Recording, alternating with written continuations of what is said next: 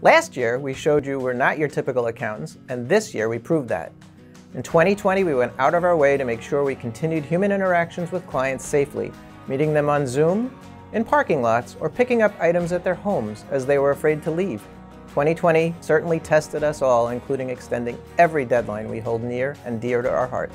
Our relationships with existing and new clients grew as we helped them with their businesses and personally, navigating business challenges, educating and assisting with new regulations and helping them adjust to the new normal.